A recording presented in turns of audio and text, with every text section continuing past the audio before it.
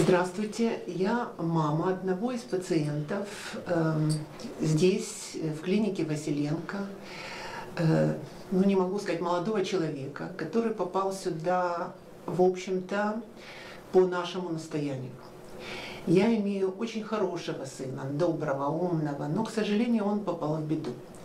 И в эту беду попали мы вместе с ним. Это большое горе в семье, это в первую очередь беспомощность родителей. Это стыд и самое страшное, то, что начинаешь понимать, что это дорога, прямая дорога к смерти своего ребенка. Эм, когда в такой ситуации оказываешься, то не знаешь, куда бежать, кому обратиться за помощью и где искать спасение вот в этой ситуации. Мы живем в одной из европейских стран. И, в принципе, там молодежь, совершенно свободно употребляет наркотики, курит траву. И с этим ничего нельзя сделать, потому что это вполне узаконено. Э, там это не лечат. То есть человек должен довести себя просто до какого-нибудь преступления, чтобы насильно поселили в клинику. Но это клиника как дурдом, где все закрыто, мягкие стены, ему просто не дают там каких-то наркотиков, а делают успокоительные процедуры. То есть лечения никакого. То, что мой сын согласился сюда приехать, и то, что мы сюда доехали, для нас это было огромным чудом. Вот самым настоящим чудом. Знаете, такое слово существует самовоскрешение. Так вот, я считаю, что именно здесь, в клинике наших детей, приводят в такое состояние, когда он начинает соответствовать этому слову и самовоскрешаться. Здесь их учат быть здоровыми, здесь их учат хотеть жизнь, жить дальше и жить счастливо, иметь здоровье и иметь какое-то будущее, какие-то перспективы. Мы знаем, что в каждом человеке находится огромный разумный мир – и его нужно восстановить, либо пробудить. Особенно у таких э, молодых людей, которых этот разум замутнен наркотиками либо алкоголем. Происходит на каждом сеансе, при каждой беседе, при каждых лекциях либо фильмах. И это пробуждение очень сильно на них действует. Они э, начинают хотеть жить.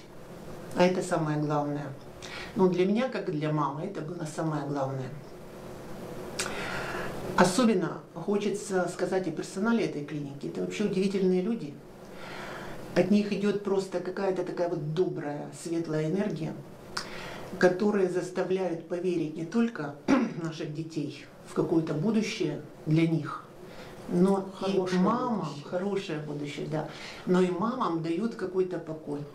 Мало того, что покой, мам здесь учат, как нужно жить дальше, с нашими такими близкими. И учат не просто лекциями, а учат тренингами, различными примерами. И мамы отсюда, и жены, кстати, э, выходят совершенно другими. И мы уже не будем делать тех опекунских ошибок, которые мы делали до того, и которые тоже способствовали такому поведению наших детей. Ну и особенно хочу остановиться на личности Виталия Ивановича Василенко это, это сила, это мощь, это мастерство и талант, это мудрость. У меня просто этот список слов был бы нескончаемый, но это просто человек, перед которым склоняю голову, а, благодарю за все безмерно. И хочу, чтобы его и дальше Бог помогал, оберегал, давал здоровье, долголетие, и чтобы он еще долгие годы мог помогать вот этим вот заблудшим душам в нашем тяжелом мире. Поэтому всем огромное спасибо. И как бы наставление материалам, женам, которые сюда привезут своих близких, не бойтесь, а едьте сюда с большой открытой душой и надеждами, что именно здесь вы найдете то, что вы ищете – и пока не можете найти. У вас это получилось? Найти? Да. Я уезжаю с большой надеждой. Я видела результаты многих ребят, которые были. Мы здесь больше месяца находились. И э, у меня у сына совершенно другие глаза, совершенно другие мысли. И вы знаете, наверное, здесь он научился говорить родителям спасибо. А это дорогого стоит. Вот вы говорили, как вы сложно его везли, каким, каким настроением вы ехали. Ехали э, настолько с большими страхами и переживаниями. Почему я сказала, что когда мы здесь очутились, это было чудо? Потому что я не знала, довезу ли я его до самолета. С самолета я не знала, довезу ли я его до поезда. С поезда довезу ли я его до клиники, потому что эти, это было последствие, поведение его было последствие наркотиков, это были психи, это был постоянный на грани скандала и на грани его ухода. Вот такой вот момент. Поэтому я и повторяю. А вот вы довезли. Что вас встретило тут? Ну, он считал, что здесь будет пятизвездочный отель, вот, и э, all inclusive. Поэтому, когда он увидел людей в белых халатах, то здесь был, конечно, у нас взрыв. Куда ты меня привезла? Это же клиника. Ну и два дня было, конечно, очень тяжело. Не хотел идти на контакт, не хотел делать процедуры, но благодаря этим исключительным докторам, их, так сказать, уже большой практике, как с этими людьми поступать, что им нужно сказать. То есть такие волшебные ключевые слова, которые сразу погасили это все, привели его в чувство. И он начал понимать, что он болен, и что ему именно сюда нужно прийти и оставаться, что только здесь ему помогут. То есть раньше он не осознавал себя больным, либо зависимым. А в чем вот вы видите исключительность вот именно нашей клиники? Чем она не похожа на других, если, если у вас есть опыт? У меня опыта никакого. Мы приехали сюда, вот как говорится, знаете, вот велась рука судьбы, чего-то высшего. Но перед этим я смотрела вот по интернету другие клиники, то есть чисто информационно то, что находится в интернете. Мне не понравилось то, как сейчас лечат э, в других заведениях, когда дают им малые дозы наркотиков для поддержания. Мы это сразу отвергли, но мы, я имею в виду родители. Значит, э, очень жесткие есть кли, даже не могу назвать их клиниками, это как тюрьмы, где их оставляют там и очень жестко к ним относятся. Они же больны они также требуют заботу, они также требуют доброе слово. А когда из них вот капельницами вымывают остатки этой всей химии, то есть они как голые люди на площади. Они не знают, куда идти, как им себя вести, что они, ну вот что им нужно. То есть в такой ситуации, я так думаю, что по какой дороге их направят, такими они и станут. Представьте, если бы они после этого попали в секту, они бы там и остались. Представьте, если бы они попали в такие условия вот тюремные, они бы так и остались вот такими злыми, озлобленными, темными личностями и душами, потому что они бы думали, что так нужно. И вот когда они попали сюда, не о чем говорить. Это инъекции добра, заботы, и самое главное, правильных наставлений. Им показывают, как будет, если они прекратят употреблять наркотики либо алкоголь. Показывают перспективы и показывают тот ужас, в котором они находились. То есть они вынуждены как бы сами решать свой путь и свой выбор. А вот это очень важно, когда их не заставляют, а когда они это делают сами. Каким вы видите своего сына сейчас? Успокоенным, целенаправленным, э, способным говорить «прости», это очень важно, э, способным благодарить, это очень важно, потому что до того все это принималось как должное. А теперь за каждую помытую ложку для него он говорит спасибо. Что вы могли сказать еще раз родителям, мамам, женам? Значит, только одно не ждите, вот как говорят многие врачи, что они должны упасть на дно, потом оттолкнуться и всплыть. Это неправда. Мой сын был не до такой степени э, уже опущенный. Он был просто вот где-то, наверное, посередине этой дороги. И я считаю, что очень хорошо, что я достучалась, может быть, где-то подловила момент, чтобы его уговорить подъехать, ну, ехать сюда в клинику. Но не надо ждать, когда у них уже начинается гепатит, ВИЧ, цирроз и все остальное. До этого не доводите, если вы любите своих детей. Привозите их еще, когда они здоровы, когда можно действительно что-то исправить, чтобы они имели в дальнейшем здоровую семью, здоровых детей. Как вы себя сейчас эмоционально чувствуете? Чувствую обновленной, чувствую, что буду жить тоже свою жизнь. Чувствую, что мой сын мне в этом будет помогать. Только мне надо быть очень осторожной, чтобы не скатиться до того поведения мамочки, которое у меня было до этого. А в чем вы видите свои ошибки? В большой опеке прежде всего. Мы их растили именно своими сыночками, а нужно было растить мужчинами. У вас хватит сейчас, вы чувствуете силы энергии отойти от него на достаточное расстояние?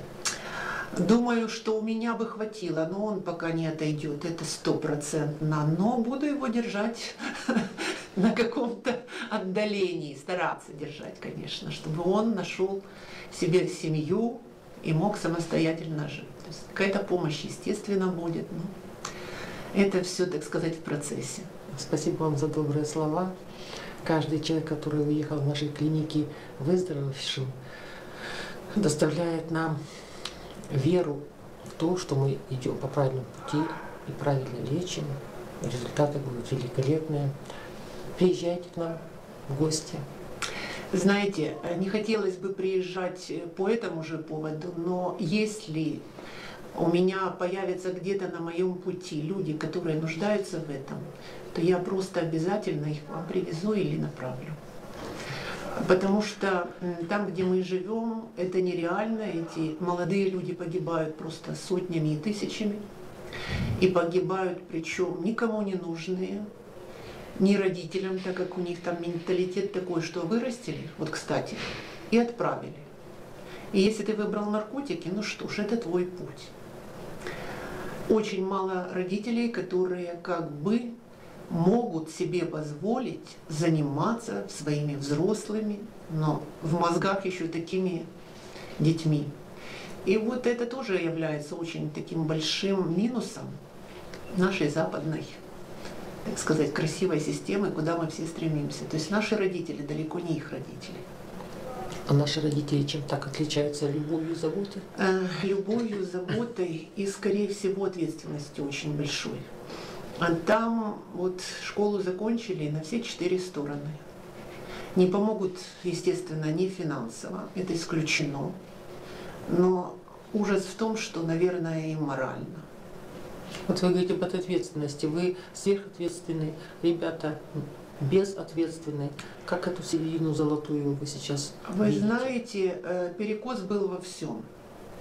И в сильно большой ответственности родителей за них, и в сильной безответственности их. И вот сейчас мы как-то это пытаемся сбалансировать. То есть они стали и понимают, в чем их ответственность, стали понимать здесь в чем их ответственность перед родителями, перед собой, перед жизнью вообще.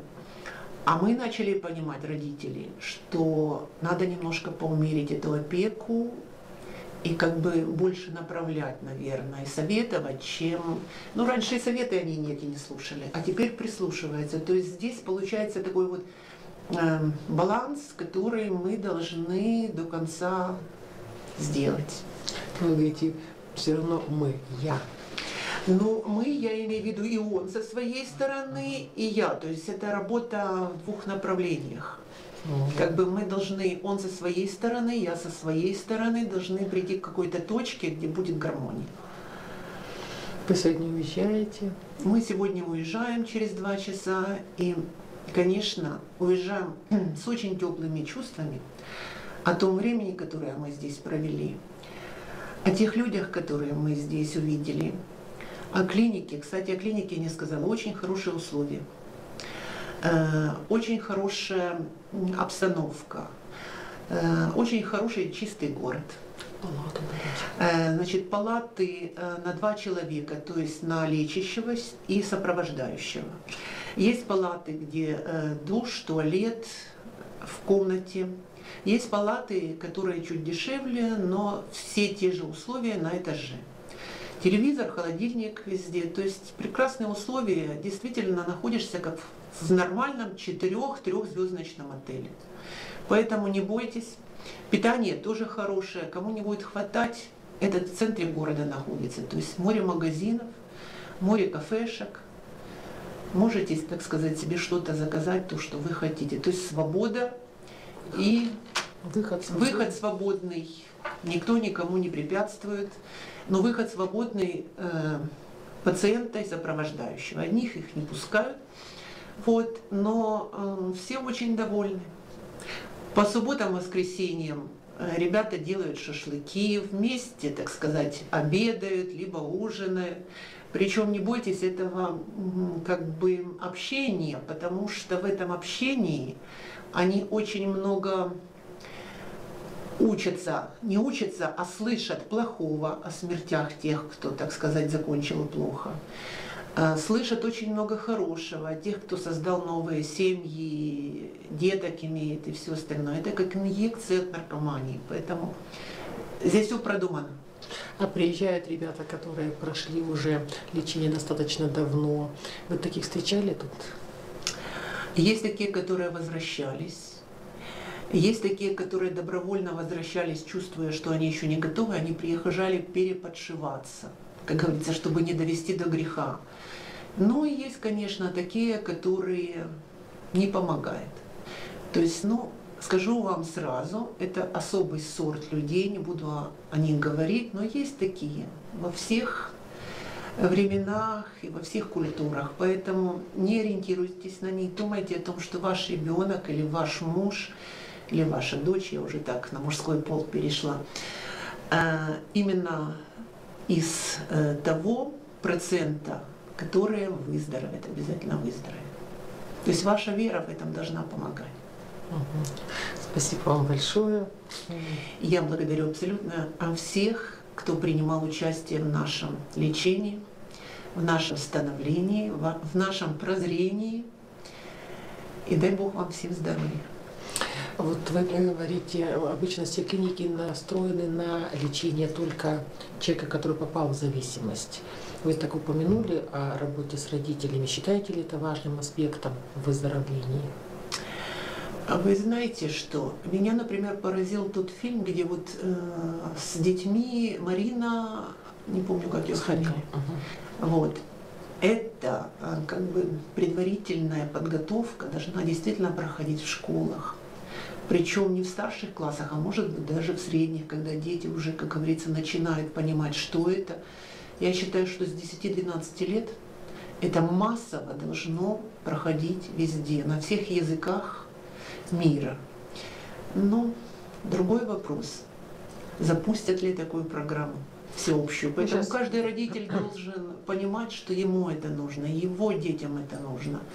Ну и, естественно, самому учиться, самому быть грамотным и просвещенным, потому что это сейчас мне так хорошо говорить. А месяц назад я еще не знала, что а такое наркотики. там говорить хорошо? Потому что я узнала очень много информации, которую я не знала и неоткуда было взять. Вот в чем дело. Мы же все в этой отрасли родители просто неграмотные.